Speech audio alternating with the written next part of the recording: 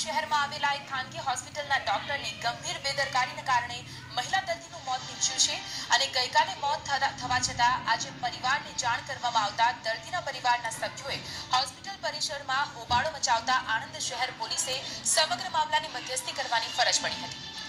બાકરોલના વૈભવ cinema પાસે દિનેશ ચંદ્ર પંચાલના પત્ની સહિત તેમનો પરિવાર રહેતો હતો. મધુબેન કે જેમનું મોત થયું છે તે ગત ઓગણત્રીસમી તારીખના રોજ છાતીમાં દુખાવો પડતા આણંદ શહેરમાં આવેલા હાર્ટ હોસ્પિટલમાં ડોક્ટર પિયુષ પટેલ પાસે લઈ જવામાં આવ્યા હતા. મધુબહેનને હાર્ટ પ્રોબ્લેમ હોવાથી એન્જિયોગ્રાફી કરાવવી પડશે તેવું કહેવામાં આવ્યું હતું. તો નળીઓ બ્લોક હોવાનું જણાવીને એન્જિયોપ્લાસ્ટી શરૂ કરવામાં આવી હતી.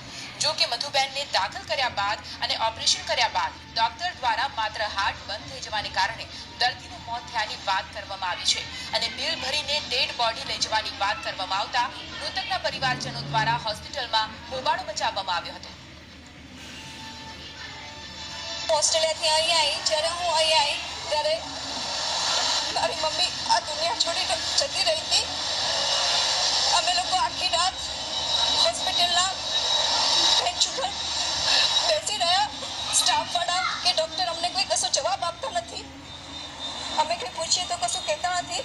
સવારમાં એની ફાર્માસિસ્ટ આવી, એને અમે લોકોએ રિક્વેસ્ટ કરી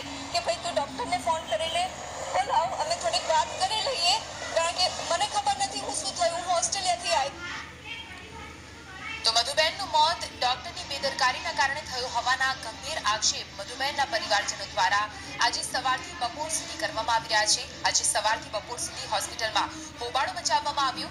આણંદ પોલીસ ઘટના સ્થળે પહોંચી હતી અને મામલો થાળે પાડવાનો પ્રયાસ હાથ ધર્યો હતો. જોકે સમગ્ર ઘટનામાં ડોક્ટર પિયુષની બેદરકારી હોવાનું પરિવારજનો દ્વારા રટણ કરવામાં આવ્યું. જેથી આણંદ પોલીસ દ્વારા સમગ્ર મામલાની ફરિયાદ નોંધી મૃતકની ડેડ બોડીનું પીએમ કરવા માટે મોકલી આપવામાં આવી છે અને આ સાથે જ પોલીસે વધુ તપાસ હાથ ધરી છે.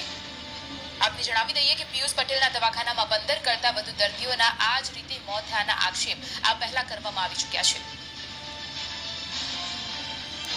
દિનેશ ચંદ્ર પંચાલ જેઓના પત્ની મધુમતીબેન પંચાલ હાર્ટ હોસ્પિટલ ખાતે ગઈકાલે ગુજરી ગયેલ છે સારવાર દરમિયાન.